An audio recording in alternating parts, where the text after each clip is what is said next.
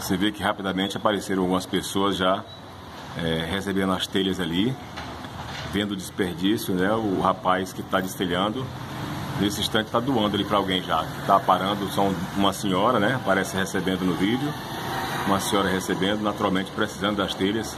Percebe que são daquelas telhas novas de cerâmica, olha, novinha lá, ó, amarelinha, em bom estado de conservação, que poderia estar ajudando muita gente. Pelo menos essa senhora está tendo sorte. Olha só o outro ângulo aqui. Olha só.